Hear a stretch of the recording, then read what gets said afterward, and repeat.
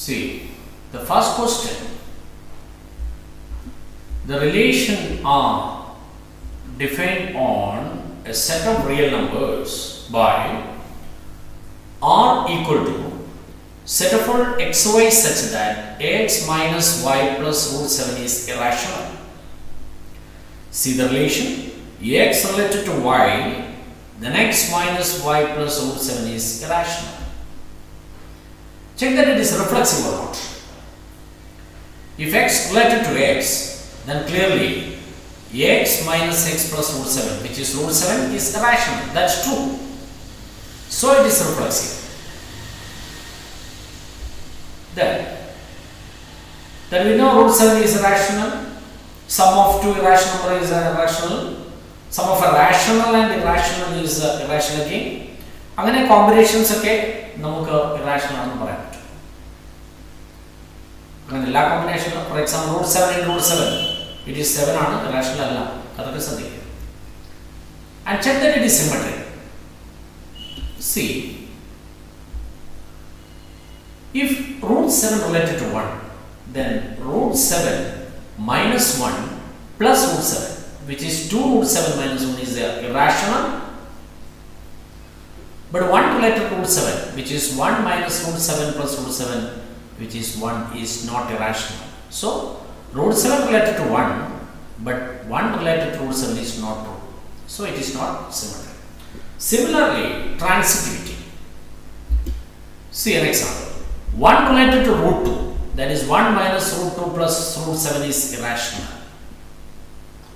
And root 2 related to root 7 which is root 2 minus root 7 plus root 7 is root 2 is rational Remember, 1 related to root 2 is correct, root 2 related to root 7 is correct, but 1 related to root 7 which is 1 minus root 7 plus root 7 1 is not irrational. സിമെട്രിക്കിൻ്റെ example നമ്മൾ അത് തന്നെയാണ് എടുത്തത് so one related to root two root two related to root seven but one not related to root 7 it is not transitive that's a relation next problem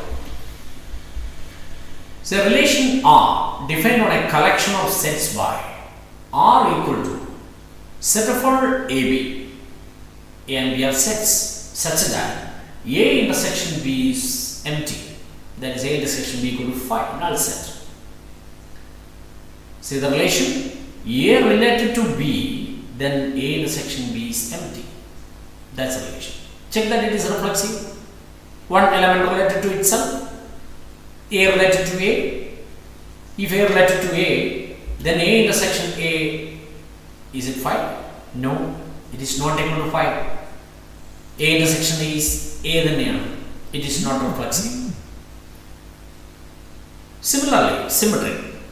If A related to B, then A intersection B is empty. If A intersection B is empty, B intersection A is also empty. Then clearly we B related to A. R is symmetric. And third, consider three sets A, B, C. Suppose A related to B and B related to C. And if A related to B, A intersection B is empty like this and B related to C, then B intersection C is empty. Maybe C like this or here B intersection C. Here, C here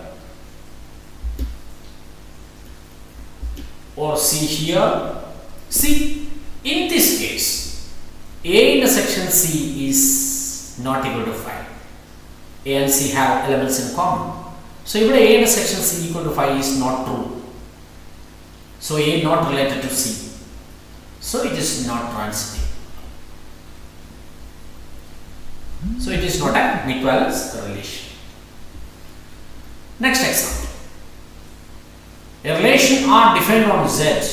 Z is set of integers by R equal to set of AB such that 2 divides A minus B. That means if A related to B, then 2 divides A minus B. Is it reflexive? If A related to A, then 2 divides a minus a, that's a relation. a minus a means 0. 2 divides 0, yes, 2. It is reflexive. Check the symmetry. If a related to b, then 2 divides a minus b by definition. a minus b, a 2 to divide b minus a, want to divide a. One is positive and another is negative. So 2 divides b minus a. So b related to a. So it is symmetric. And transitive. If A related to B and B related to C, A related to B means 2 divides A minus B, B related to C means 2 divides B minus c. A minus B A 200 divided B minus A 200 divided So, Orapatum, the sum is divisible by 2 or 2 divides A minus B plus B minus c. That is A minus B that means a related to c it is transitive. So it is reflexive symmetric and transitive. Therefore it is an equivalence relation. Okay